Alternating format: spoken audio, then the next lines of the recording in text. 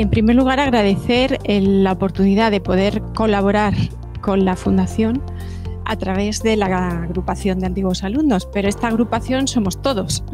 Entonces elegimos esta formación a la cual hemos dedicado tiempo y esfuerzo porque pensábamos que merecía la pena, con lo cual no se puede quedar ahí, tenemos que seguir luchando por la vida.